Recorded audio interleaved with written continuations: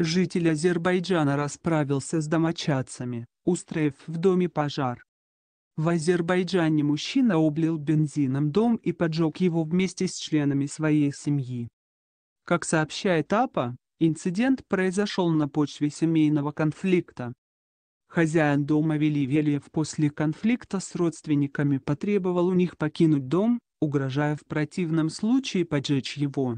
Через некоторое время мужчина, облив дом бензином, поджег его.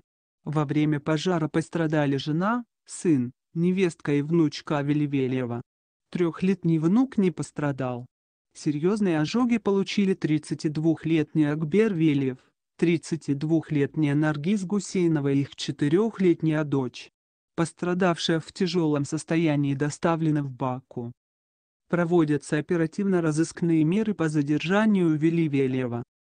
Житель Азербайджана расправился с домочадцами, устроив в доме пожар.